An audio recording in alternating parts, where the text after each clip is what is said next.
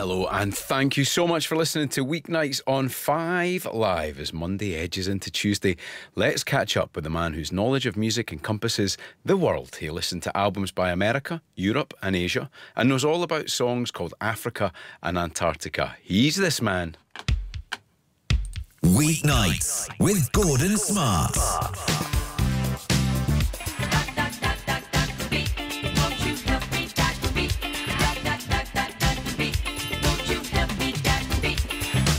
Now, he wasn't here last week, so I think it's fair to say that we missed a beat. Uh, oh dear. It's the show's resident musicologist, Professor Joe Bennett from the Berklee College of Music in Boston. How you doing, Joe? Really good. It's good to be here, Gordon. Great to be back. Have you got a bit of jet lag, Joe? Because it sounds like you've put in a bit of uh, travelling over the last couple of weeks. Well, yeah, so I flew in over the weekend from uh, London to Boston after a week in the UK, visiting some family in York, had a great time. But, um, but yeah, the nice thing about east to west jet lag, as I'm sure a lot of people will know, is you get up super early. Yeah. So, so my, my challenge actually wasn't, uh, you know, wasn't sleeping in today. It was, you know, I was up at 4 a.m. and uh, my challenge is staying awake right now. well, please do, Joe. Please do. Joe, did I ever tell you my Ozzy Osbourne um, jet lag story? No, no, tell no, me. Right, I went to interview Ozzy Osbourne in Los Angeles quite early in my career, and I wasn't great with jet lag. Right, I'd never really done the London to, to the West Coast thing before, and I turned up and I sit down, and I was quite also quite nervous about interviewing a, a legend like Ozzy Osbourne, and he said, "How are you getting on with the jet?" I'm not going to do the accent. He said, "How are you getting on with the jet lag?" And I said, "I'm really struggling with it." He said, "You know what you need to do is you need to go and get some brown paper, draw around your feet." Cut out the brown paper and put it in your shoes. And that's what all the rock stars did in the 70s and 80s. It works a treat. And I was like, oh, thanks very much for that, Ozzy. So off I went to the shop, bought myself some brown paper, cut round my feet, put them in my shoes. Six months later, he was in London, went to interview him again. And he said, Did you do that thing with the brown paper? And I was like, Yeah. And he went, You idiot. I honestly walked around LA for about a week with brown paper in my shoes, Joe. And the, the moral of the story is don't listen to Ozzy Osbourne and how to deal with anything, I think is the answer. Um, anyway. By Ozzy, what a story. Good Fantastic. old Ozzy. Good old Ozzy. So Joe joins us on Mondays as they turn into Tuesdays to help us look at songs in a new way to try and find out what it is that makes us like the music we do. A couple of weeks ago when we were last together, it was about the one hit wonder. But Joe, we are looking at something different this week duets, right? Duets, yeah, that is just when two, usually two artists who are independently successful of each other, just come together for reasons and just do a song together just for the heck of it. Uh, and um, I, I, when I started researching this, I, I, thought I could maybe name 20, but I found uh, like north of 100. So actually getting down to a list that we could play in an hour on the radio was a real challenge this week. Absolutely brilliant stuff. For some reason, I just thought of uh, David Bowie and Mick Jagger. Um, I don't know if you've ever seen it on YouTube when they do dancing in the streets without the music and just the noise, the noise of them making really silly noise. Anyway, it's worth having a look. So anyway, you've got you always have a quiz, Joe. We do this every week. Uh, we've already teased people with one, but what's the devious quiz this week? Okay, well, remember with all my quizzes, it's never a track that you don't know. It's always like a super famous song, and that's the case this week. We are doing backwards audio as we usually do, and um, I've got not five but six questions for people tonight, so I'm going to kind of rattle through them. There's uh, something to suit all the generations. Our earliest example is from 1967, and our most recent one from 2020. So you're going to get the backwards audio. I'm going to tell you the year and maybe the nationality of the performers and that's all you get. And I need the name of the song. Excellent stuff. So, we're going to do Joe's quiz. Remember, you will get a refresher in about 40 minutes' time, I think. But if you've got your pen and paper ready, now is the time to turn on your ears, pay attention, and listen very carefully to Dr. Beat. Here we go. Question one. This American duo had a hit with this song in 1967.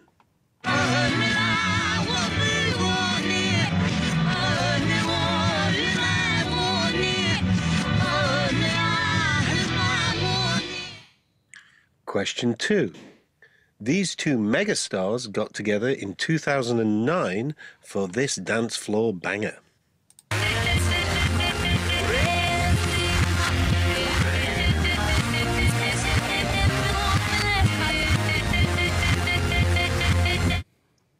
Question three. This is the only, as far as we know, the only hit that is a duet between a father and daughter from 1967.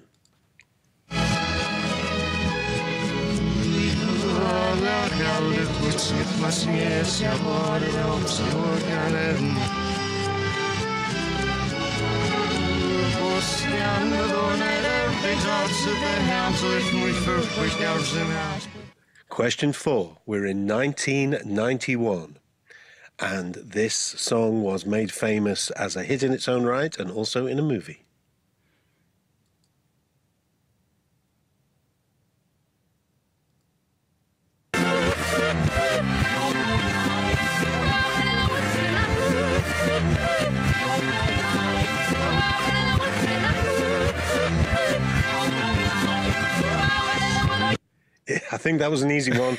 people will know that I misread the date. That was, of course, 1978. So this next one is from 1991. Again, two megastars, and they're both British.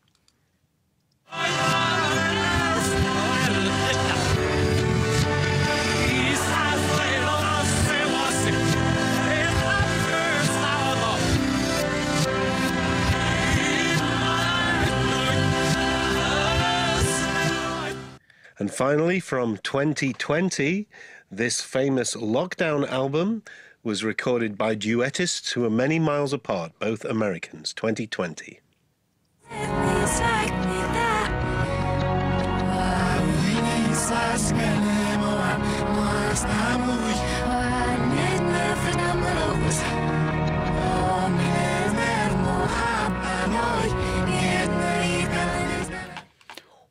It's really good this week. It's a proper challenge as well, let me tell you. Oof, I'm struggling a bit, Joe. I'm going to have to wait for the recap in about 48 minutes' time. But remember, get in touch 85058 if you got any of them. There are six, remember.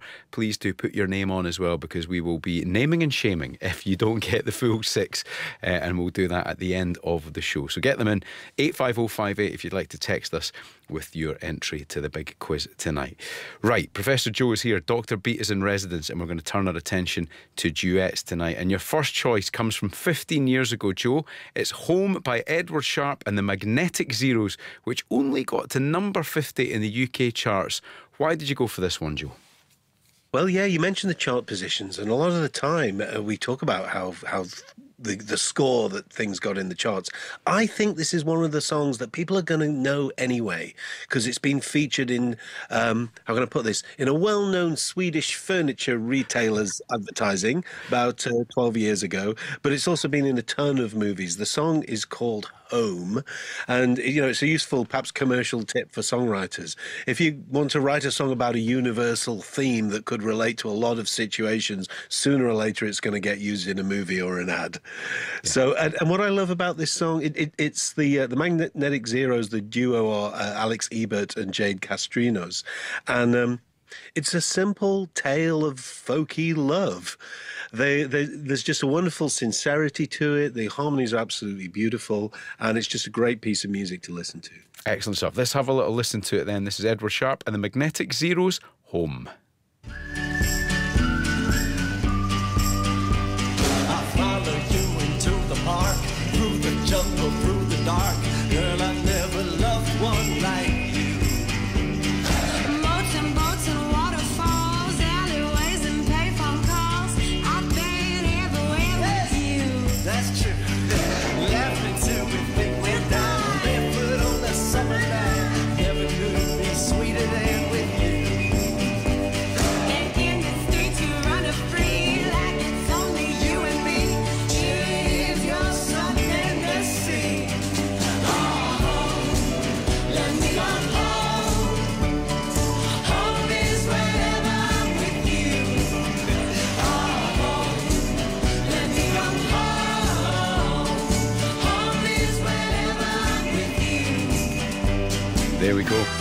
Edward Sharpe and the Magnetic Zeros. I feel terrible for talking over the uh, the brass section there, but Joe, you know, one thing that just occurred to me that that was a live version. I think that one wasn't it? But it, quite often duets are about a bit of love, aren't they? A bit of joyful, sort of cheery, upbeat love. Yeah, and uh, and I think that's the. Uh, uh, there's something about two people sort of singing at each other. It's such a wonderfully intimate thing to do. I mean, singing generally is an intimate thing to do, which is maybe why so many songs are love songs. But yeah, the idea of two people singing to each other, we we sort of naturally, psychologically, we just we, we sort of feel their relationship coming through the music. So it makes sense to tell a love story. And you, yeah, you're right. That was a, a, live recording. It kind of, kind of surprised me that it was a live version. Mm. Uh, and so it, while it may not have had like the perfect vocal tuning of a of a studio version, it had so much energy that came off the stage, and I love that in a different way. Well, Joe, you know, it just occurred to me actually that uh, regular listeners will know that Joe made a track for me called Gordon's Dream featuring my vocals. Maybe for next week, Joe, you could uh, have a little tickle with it and add some of your own vocals and we could release that as the, the reworked ver- version. Gordon's Dream, the remix. Honestly, Gordon's Dream, the remix, is it's making waves, Joe. It's going down very well on social media. Right, let's get away from that. The next song is probably far more familiar. This got to number one in 1981 and features two of the most charismatic singers ever. Have a listen to this. This is Queen and David Bowie with Under Pressure. It's, but it's not a duet in the conventional sense, is it, this one? Well, and, and obviously the song's a stone cold classic, and everyone knows it so well. Came out in 1981 on their, uh, their I think their Hot Space album, the sort of funky album. Um, and what I love about it is that the um, the sort of back and forth between Bowie and Freddie is is so um, it, it's literally spontaneous. So the song was recorded basically as a kind of a jam session there in, in the studio. The story goes that Bowie had originally been invited to sing backing vocals on a completely different track, a much lesser known Queen song called Cool Cat, which is, is on the album. Um, but they said, you know, why don't we sort of just jam over these chords? And Under Pressure kind of arrived. And, um, and when you know that, and then you listen to the track, you can kind of tell that there's no sort of form or structure. It's not a really a written lyric, apart from the nonsense, doom babe, doom babe, sort of, sort of scatting.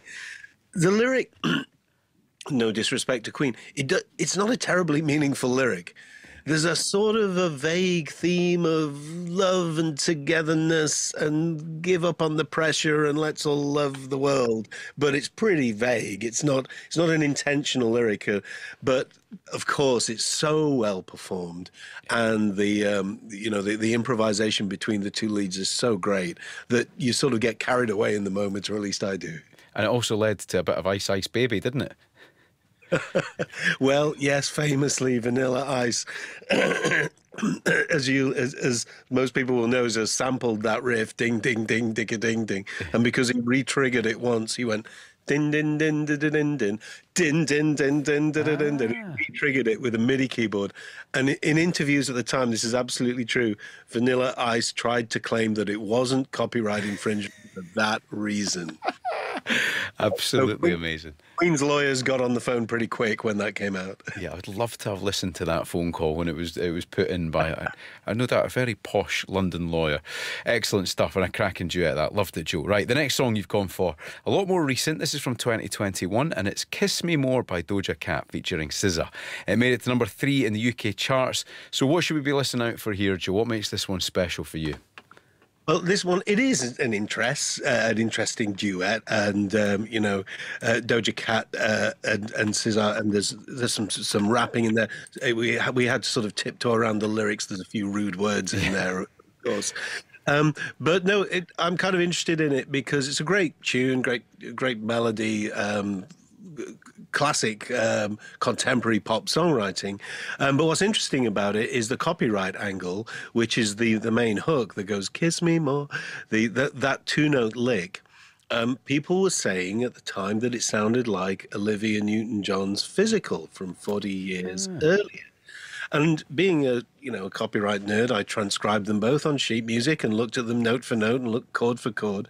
And apart from those da da da at the top of the chorus hook, there are no other melodic similarities or chord similarities or lyric similarities. And they still gave a copyright credit to two of the writers of Physical. Why? So if you Why? look it up, on PRS or ASCAP or yeah. one of those, or even just Google it, you will you will find that uh, there is a reference to the co-writers of Physical being credited on the credits for Kiss Me More. Now you put that in our head, we can have a listen to it and see if we can spot it ourselves. So here we go. Kiss Me More, Doja Cat featuring SZA. He was a kissing boo. Taste breakfast, lunch, and gin and juice. And that dinner just like dessert too. And when we French refresh, give me two. When I bite that lipstick, lip gloss, hickeys too. Huh.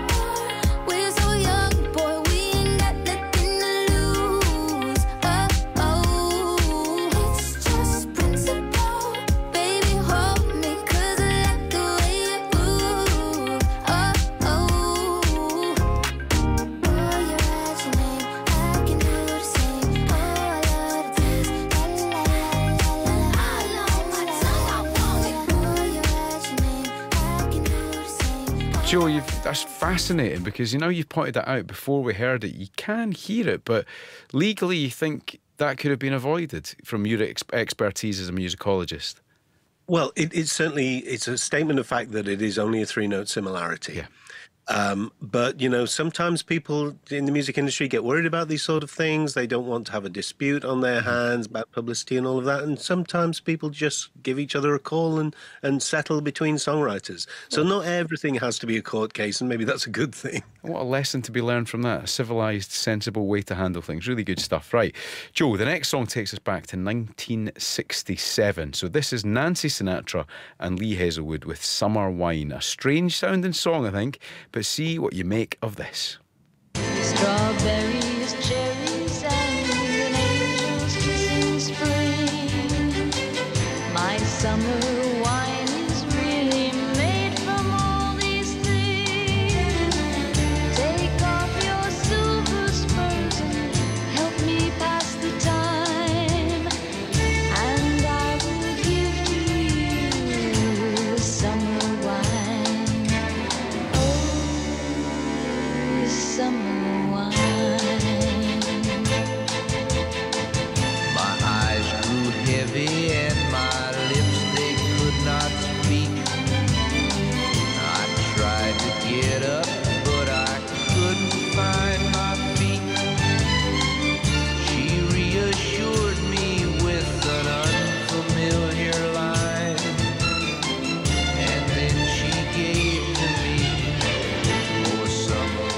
So hard not to sing along to that one on the radio and lose all of our listeners, Joe. But uh, what made you select that one?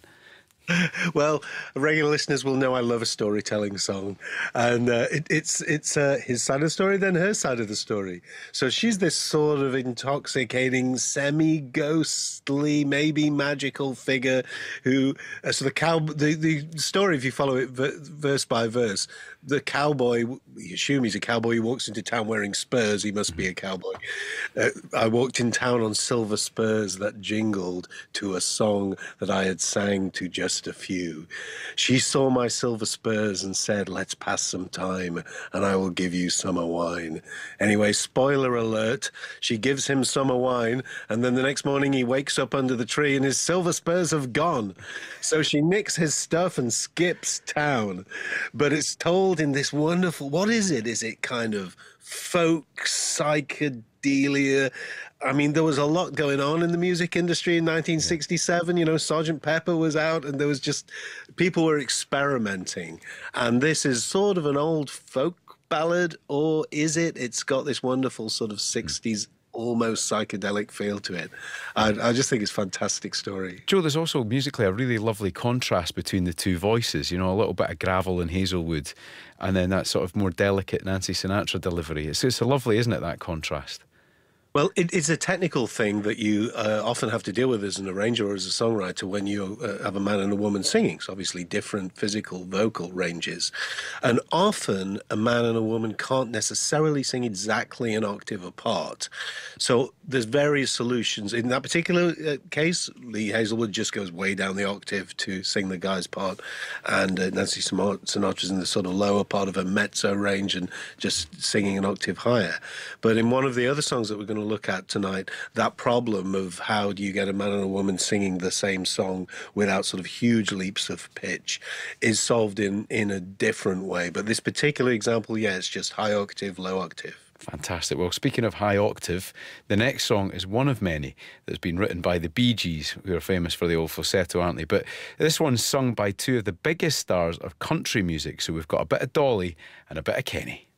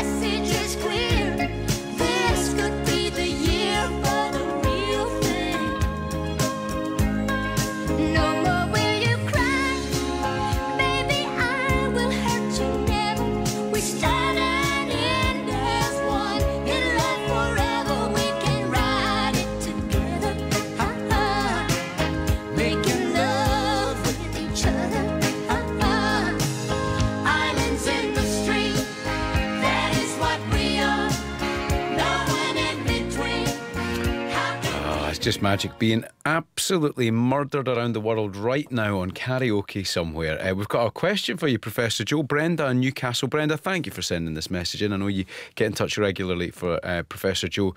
And here is the question for the prof Islands in the Stream, Dolly and Kenny. Is it true, do you know, Joe, that Kenny was singing this in the studio and didn't like how it was going? I heard that someone on the recording team told him that Dolly was in the studio having coffee. She joined him. They did it in two takes, resulting in a timeless classic we have today. Any truth in those rumours?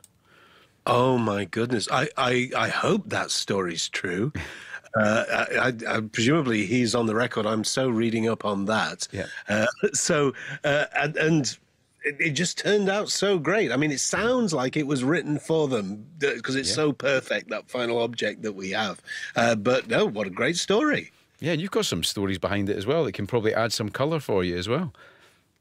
Right. Well, so as you said, it was written by the Bee Gees, and the Bee Gees, you know, I think when you know that, you can kind of hear there's something about it, the the uh, uh and the uh, and and just the that lovely ascending melody, do do do do do do do do do sort of pentatonic tune that makes this so memorable. Um, and they were jobbing songwriters as well as being the Bee Gees. You know, they famously wrote "Woman in Love" for Barbra Streisand and uh, "Heartbreaker" for Dionne Warwick. Um, but that thing I was talking about um, earlier, the, of how you solve the key change problem be- between a man and a woman. So that that riff, uh, it's a super simple riff that they had. It's just two chords. So uh, we've got, and then we've got the doom, two, two, three, four, ba, ba. That's just two chords, F to C and that's Kenny's key. So he sings his verse in in C. And just as we were fading in there, we faded up just on the point where it goes straight to Dolly's key, which is A flat. So she goes up a minor sixth. So we hear just this brass riff. Then suddenly, whoop. Was in tune when I got it back from the shop. so we, we suddenly get this huge A flat chord that's just a, a key change right on the bar Yeah. line and it, there's no like passing chord, no cleverness. It's just bang, we're into Dolly's key, and uh, she hits it right on the money.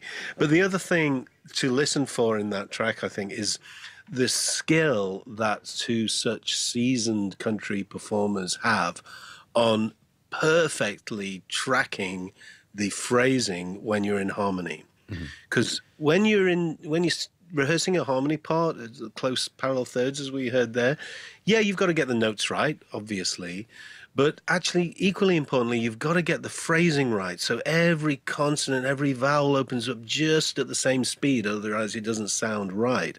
So you really have to just rehearse, rehearse, to rehearse to make that happen. And if anyone you know goes back and revisits that record, what's remarkable about it is just how together they are. They are so on it. Yeah, I just love hearing that little insight into that, Joe, because uh, there's some science behind this as well, because it did go on to be one of the biggest selling singles of all time, right? And if that wasn't so perfect and wasn't so well prepared, it wouldn't have done that. And it's it's unif- it's, it's stood the test of time, Joe, hasn't it? That song. Yeah, it really has, and uh, it's it's everything coming together. It's great performers and great songwriting, and uh, a title that is both universal and just quirky enough to be memorable. and covered so many times as well. Brilliant stuff, Joe. Loved that. Right, your next choice is Where the Wild Roses Grow, and I'm so glad you chose this because I love it. Nick Cave and Kylie Minogue. So it's from 1995, and it was a bit of a departure for Kylie, Joe, wasn't it? And probably you could say a departure for Nick Cave as well. Well, right. It's um, I, I actually have a songwriting class at Berklee that, for some reason, this semester's class, they're all writing murder ballads. I don't. I, I've asked the class. I've, there's 14 in the class. I said, "Why are you guys so murdery?" But there's a lot of death in their songs this semester for some reason. So it, it's kind of on my mind. And and this this is well, as you say, it's such an unusual thing for maybe not for Nick Cave, you know, he loves a murder ballad, and this is from the album of murder ballads, but for Kylie to show her artistic range by jumping into into this thing. Uh, so yeah, it's a murder ballad story. Um, she's entranced by him, and they go down to the riverbank, and he picks up a rock and he does her in. And then we realize in the final verse that she's been narrating the story from beyond the grave all along. Ah, fantastic. The Sixth Sense. The song peaked at number 11 in the UK. Let's remind ourselves what it sounds like. This is The Wild Roses Grow. Nick Cave and Kylie Minogue. For my name was Eliza Day. On the second day, I brought her a flower. She is more beautiful than any woman I'd seen. And I said, Do you know where the wild roses grow? So sweet and scarlet and free. On the second day he came with a single red rose. He said, Give me your loss and your sorrow. I nodded my head as I lay. If I show you the roses, will you follow? They call me the wild rose. Brilliant song. Absolutely brilliant, Joe. Loved that. And uh, the video was great for that, wasn't it? It- yeah, I, uh, apparently so. Yes, the video is quite is quite famous. Uh, I tend not to watch videos actually. I find them a little distracting because I want to get into all the chords and lyrics and melodies and everything. So, so for me, music's a really sort of auditory, artful. But uh, but I, I have heard this. is- It is a very Oh, it's famous. amazing. Vic- Victorian England is brilliant and really does complement the dark themes on that one. Brilliant stuff, Joe. Right, loved that. The next song you've gone for didn't chart in the UK, and you mentioned this earlier. It doesn't always chart entirely well, but it will be familiar. It's a great song, this. So, this is 20 Years by the Civil Wars. It's from 2011, I think, and they did sell a few albums in the UK. A great, great band, Joe. What can you tell us about Civil Wars? Well, the Civil Wars, uh, there's such a sense of regret as the band that they could have been. They were around for such a short time. And when they came along with that album in, in 2011, I just thought, this is great. This is like new country that could have been recorded any time in the last 50 years. It would sound the same, you know. And uh, they they sing so fantastically well together. Again, there's there's some harmony. In fact, the thing to listen out for the, in this one is you have interpl- interplay between um, parallel thirds, that is just singing in harmony. Then towards the end of each verse, they two go into octaves, and then the final word and a shadow is just John Paul White's solo vocal. So you end up with this sort of harmony carrying you along the journey. And it's also got this real mysterious lyric about regret and secrets. There's a sli- there's a sliver of yellow paper that is slid under the door with some secret from 20 years ago. And we never quite know what it is, but it's so it's evocative of something mysterious. Oh, it's brilliant. Right, let's take a listen to the Civil Wars and 20 Years.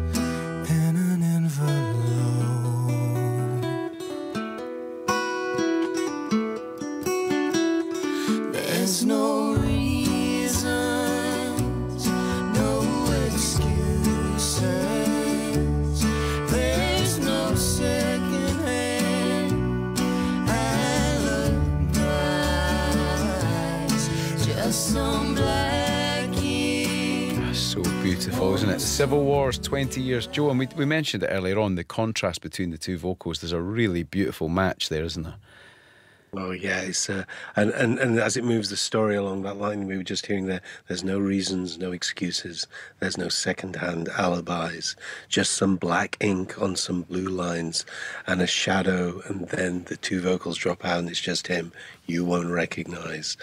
Uh, and we yeah we don't uh, uh, we we hear that really beautifully um, so in tune and so well phrased that, that tracking of thirds. And then it's because it's so beautiful for me it's kind of chilling when it drops out and it goes into stark octaves. And then we just have the guy's voice telling the final line. It's almost like some kind of a uh, I don't know uh, uh, confession Oh, it's beautiful stuff.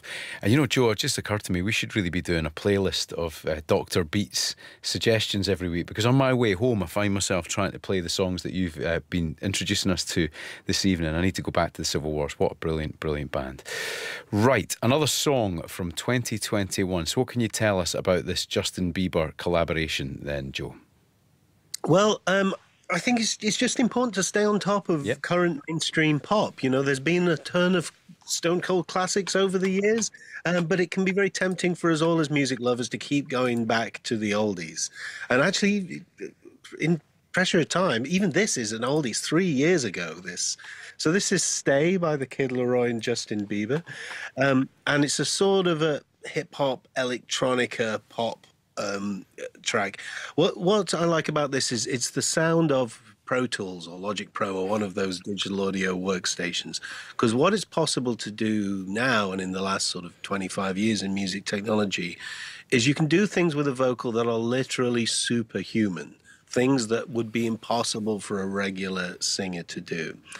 And there's a very simple uh, technique used here, which is where the vocal is tracked, Justin Bieber's vocal is tracked, so it slightly overlaps with itself. And if you listen to the section we're going to play, you, you realize that it, he's literally got no time to take a breath. And that is achieved just by singing one line, then overdubbing the le- next line, and you get this this weird feeling that that something's sort of well superhuman about about this singer. Excellent stuff. Right, let's have a little listen to it. Justin Bieber and the Kid Laroi.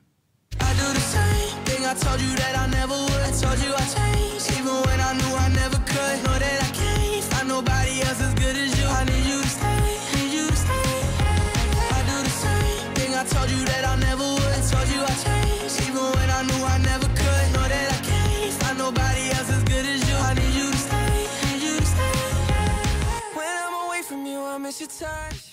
Oh, it's a good suggestion, Joe, because I think, again, I spend a lot of my life disappearing down SoundCloud rabbit holes, and Kid Laroi was one of those artists, wasn't he, who emerged there, and in the kind of way Justin Bieber was discovered, wasn't he? Was it? He might have even been MySpace thinking way back. It was it certainly blew up on YouTube with uh, that song "Baby, Baby, Baby" was, uh, and um, so he was, and, and of course he very quickly went from sort of jokey pre-teen, almost child star pop star to serious artist, and he really achieved that transition super well. And you know, I think with the Kid Laroi, who's famously Bieber was giving him a, a, hand up and giving him an extra exposure with with that uh, with that track. But also, it uses. Um, there's an interesting thing about the songwriting that um, a lot of contemporary pop songwriting is right now is a four chord loop. Um, this I'll, I'll, give you this loop.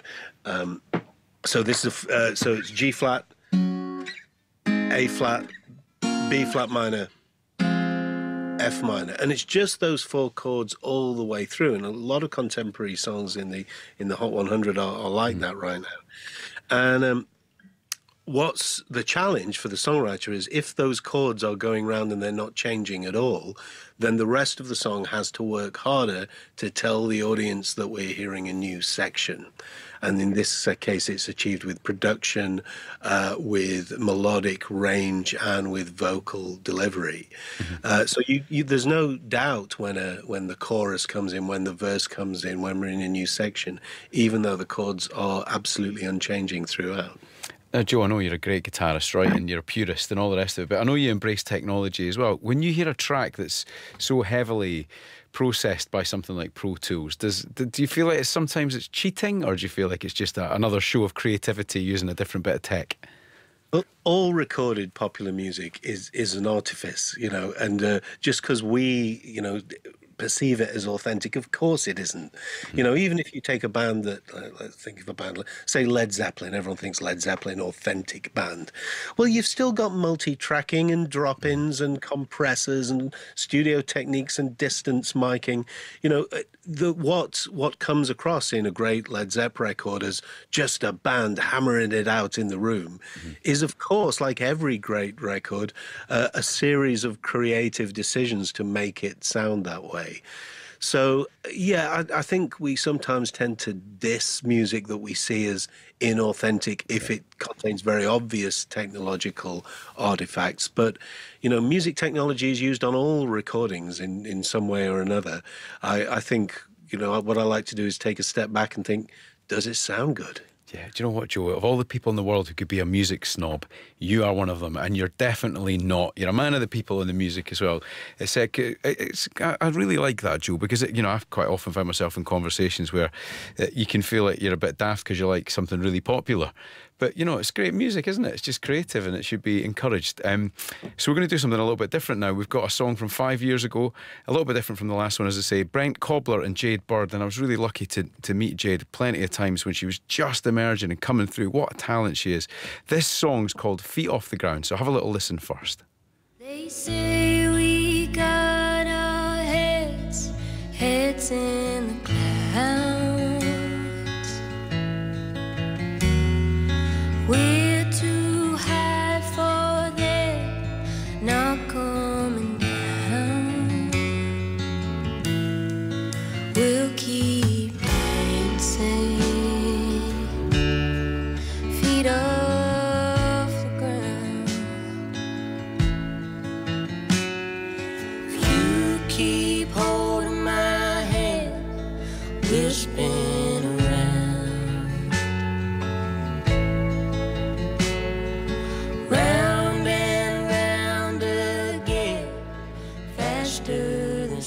lovely, isn't it? Jade Bird and Brent Cobbler, "Feet Off the Ground." Joe, great suggestion. That I'd forgotten about that song. What was it that, that was so special about this one for you? Well, again, it's just one of those that it has it has a lovely, lovely sound to it, and it's a, it's a different solution to the singing in harmony bit. What we were mostly hearing there was uh, open fifths, so that so the harmonies aren't quite as sweet. They're, they're much more sort of open sounding. That round and round phrase that, that we we heard there, but again, it's so in tune and it's so wonderfully well tracked that it's just it's a nice sonic bed to sort of drift uh, drift away on and and I always like a positive love song. You know, it's uh just a euphoric. You're awesome. No, you're awesome, and I feel like I'm dancing on air. So. Uh, it, it's it's a real it's, it's a it, it sounds almost mournful because it's in three four and you've got that one to six sort of major to minor chord chord loop going on, um, but uh, it, I, I think it's just it's a really delicate expression of sincere love in the lyrics. So I, I- think it's absolutely a joyful listen. Really beautiful, authentic, authentic stuff. Loved it. Apparently, it was considered for the Star Is Born soundtrack as well, but didn't quite make it. Um, Joe, your next choice is from 2019. It features Miley's dad, Billy Ray Cyrus, along with Lil Nas. Tell us about this one, Joe. Well, Lil Nas X, you know, TikToker that done good, and um, it. I mean, he's such a character, and uh, he's sort of invented this career for himself. And you talk about artificial. He kind of revels in the artificial. He he loves it. It's genre genre blending. It it's sort of country, but not really. But really, the duetting of this was, you know hats off to Billy Ray Cyrus, he of Achy Breaky Heart fame, for just stepping up and saying, "Yeah, I'll have a piece of that. I don't mind." You know, for this new TikTok guy who's come up with this sort of country song, and I think he sort of maybe gave the song a blessing so that the American country community were allowed to like it. Absolutely brilliant. Well, it gives me uh, cold shivers because um, it's on a dancing game my daughter has, and we've got Northern Irish neighbours, and their six-year-old daughter just looked at me and said, "Oh dear, Gordon," when I was trying to do the dance moves to this. So thanks for suggesting it to tonight, Joe. This is Old Town Road, Little Nas X, and Billy Ray Cyrus. Yeah, I'm gonna take my horse to the old town road. I'm gonna ride till I can't no more.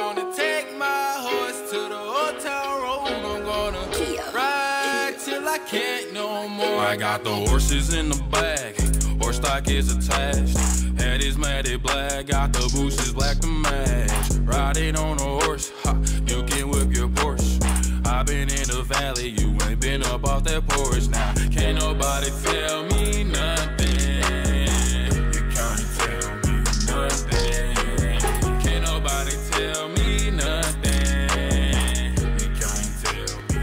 There we go, Old Town Road, a bit of Billy Ray Cyrus and Lil Nas X. And, and Joe, you must have loved this song because it really did kick off a debate, didn't it, about genre boundaries, which must give you plenty to discuss in some of your tutorials.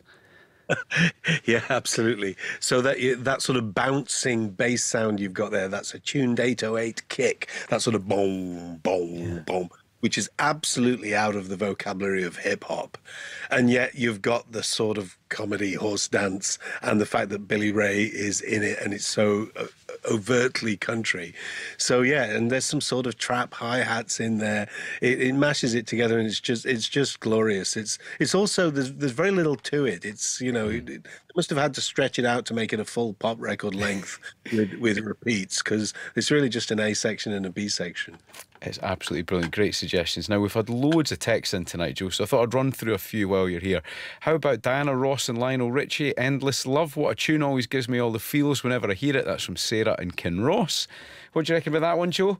Oh, Endless Love was on the long list. I had a long list of 40 for this show going, I mean, it was so hard to pick, but I'd, I'd loved to, would have loved to play Endless Love. It'll go onto the playlist that we will create from the back of the set. The unlikely pairing of John Denver with Placido Domingo singing Perhaps Love.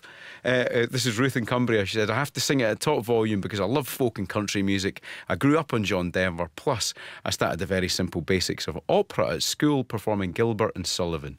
So I adore this combination. Joe, any thoughts on that one?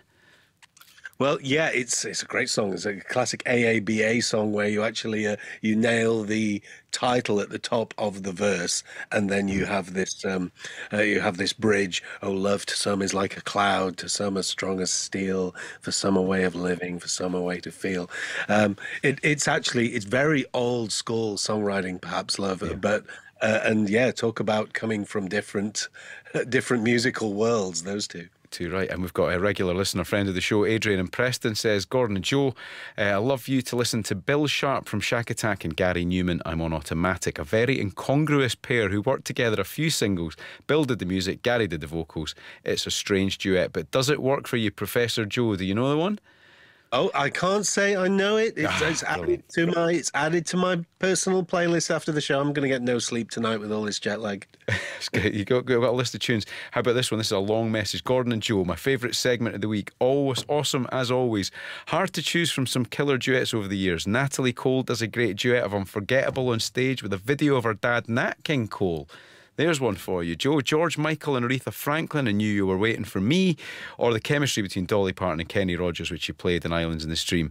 Michael Jackson and Paul McCartney. The Girl's Mine is another one, but that track's less well known. Uh, stuck in my head for years. Um, there's loads of suggestions there from Ash, and that, that's that's one for you. The Michael Jackson and Paul McCartney. What about that one, Joe? Well, right, yeah, that was, uh, and they did a few together at that time, didn't they? I think it was mid mid eighties, uh, and just uh, again a good example of two absolute world class megastars just coming together briefly to do a project together and to move off and go their separate ways. And an honourable mention again for Ozzy Osbourne, who did a duet with his daughter Kelly Osbourne on the track Changes. Nice suggestion, that one. Right, Joe, it's uh, just coming up for 10 to midnight over here, and there are a few people struggling with tonight's quiz. So, Joe, remind us what we're looking for again. Okay, so these are famous duets. They're all super, super famous. I'm going to give you the year and the nationality of the performers. So here we go. Quick fire quiz recap. Question one. This duo, this American duo, recorded this song in 1967.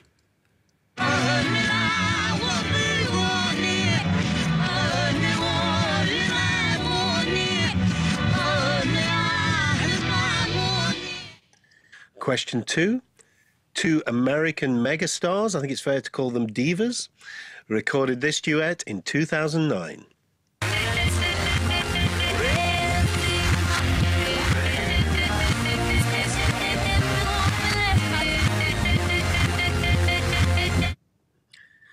Question three. This is the only father daughter number one hit that we know of. This was recorded in 1967, both Americans.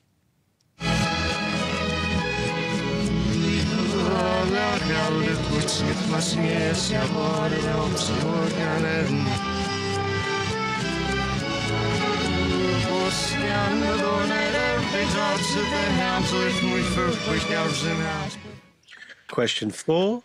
This 1978 song was a massive chart hit, propelled there by being in a movie.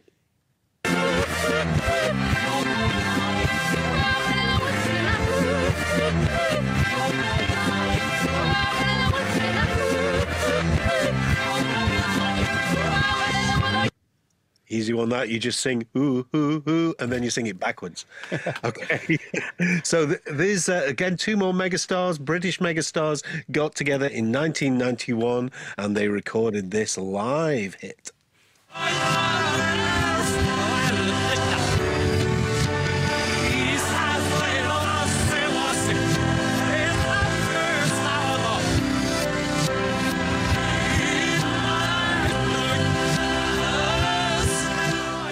And finally, question six, a bit of a bonus question this week. This was a lockdown album, and the duet was recorded remotely from each other. These, these two Americans recorded this remotely in 2020.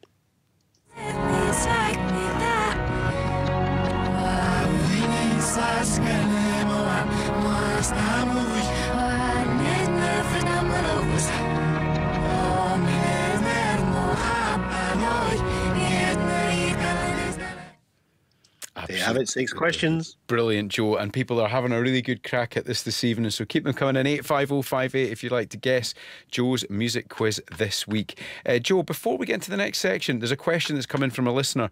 Uh, could you please ask Joe, this is from Harry in High Wycombe, if he supports a football club, and if so, which one? Uh, I'm not a huge sports fan because I spend my life around mixing desks and monitor speakers and guitars, uh, so I don't get out of the house much.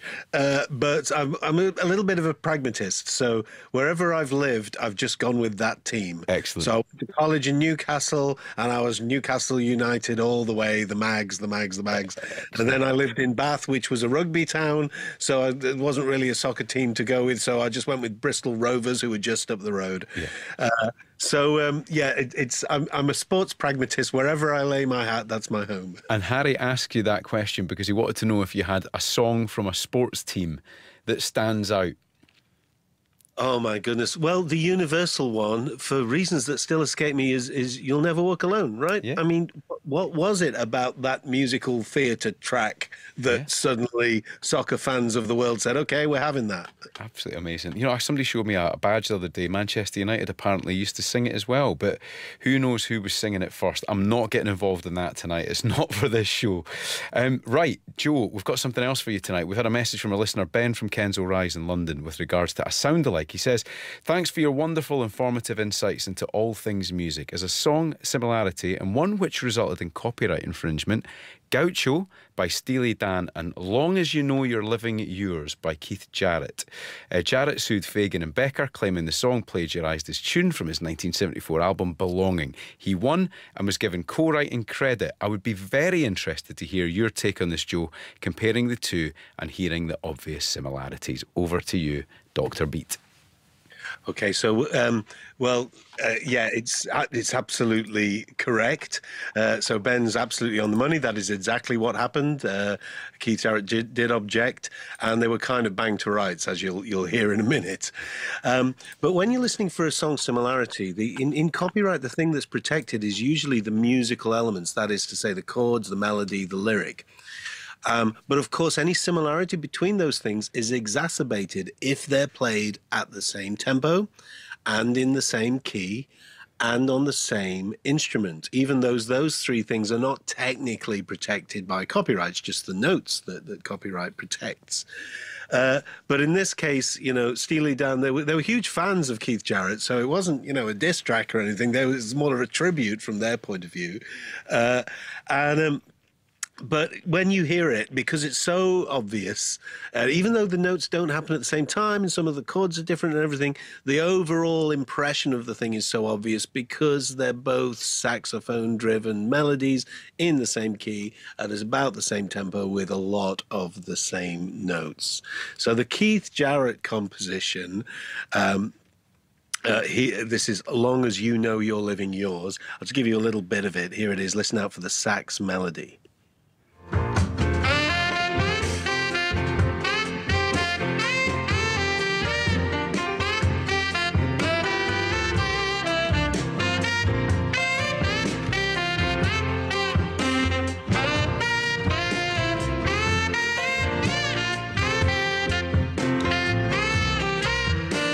So do da da da da da da da. You know, it's only kind of do re mi in reverse, mi re do, but um, it when you hear gaucho, even though the production's a little bit different, it, the the influence is unmistakable. Here's gaucho.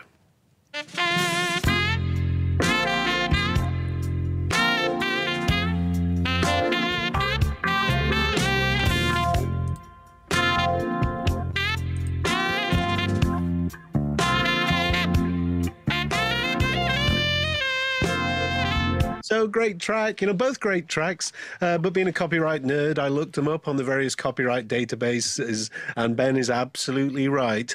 Uh, they did indeed credit Keith Jarrett as a co-writer on Gaucho, and the credit is there to this day. So I imagine now we just played it on Five Live. There'll be a little bit of a royalty finding its way to to pay those those percentages out even today. Oh, that's absolutely brilliant. And Ben from Kensal Rise, thank you very much for that. That's a really good suggestion. And by the way, if you've got a little earworm that you think might sound like something, but you can't quite work it out, we have got the man for you. Dr. Beat can help. Send them in 85058 gordon at bbc.co.uk and we'll make sure the good professor gets his hands on them and gets back to us uh, next week. Now, Joe, we are running out of time, so I wonder if tonight we just give the answers to the quiz without the music. Do you think that makes sense? Because we've got a couple of other questions that people have asked of you. Do you Let's to do that? do it, yeah. Right. So if you had your pen and paper ready, this is the moment of the big reveal. It's been quite testing tonight. We've just had a message from Harry who says, Whew, difficult tonight. Well done, Joe. You've flummoxed me. So yeah, go on, Joe. Give us the answers and we'll see how people Okay, got on. quick fire answers only. Question one. The answer was Ain't No Mountain High Enough, Marvin Gaye and Tammy Terrell, 1967. Question two was Beyonce and Lady Gaga. The song was Telephone from 2009. Question three was Frank Sinatra and Nancy Sinatra, father daughter, 1967, their song Something Stupid. I think most people, I hope, would have got the one from 1978. It was John Travolta and Olivia Newton John. You're the one that I want. I've got to play a tiny bit of it. Had to do it. Uh, the question five two British megastars. They were, of course, Elton John and George Michael. Let's have a We've done- blast of that. Go on, Joe. We'll give a blast of that. Here we go.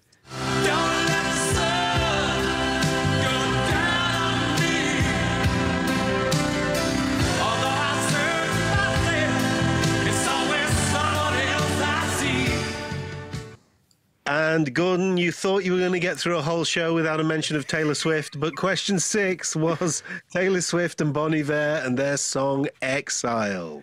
So what am I defending now?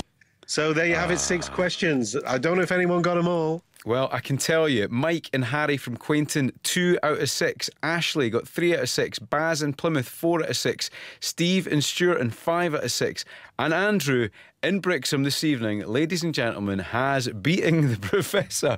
Congratulations, Andrew. You got six out of six. Well done. Absolutely brilliant. Joe, you've got to give Andrew a little shout out for that, haven't you?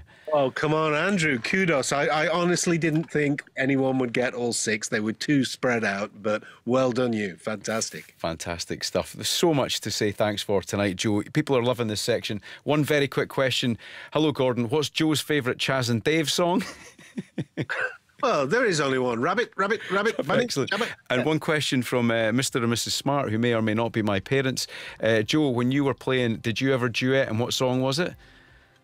Oh my goodness! Well, I, I've got a confession. When I was in York with my uncle last week, we did a sneaky open mic. Uh, what was the song? Yeah, uh, we did James Taylor's "Fire and Rain." Stone cold. Fantastic. Well, thank you so much, Professor Joe. Thanks to all the guests on tonight as well, particularly Dr. Beat, Professor Joe Bennett. A great selection of duets in our musicology feature there we've heard tonight. Now, remember, Dotun is up next with the World Football Phone, and he will be having a little look at some of the stuff in America right now in soccer. Right, uh, that was just for Joe as well, the soccer reference in Boston.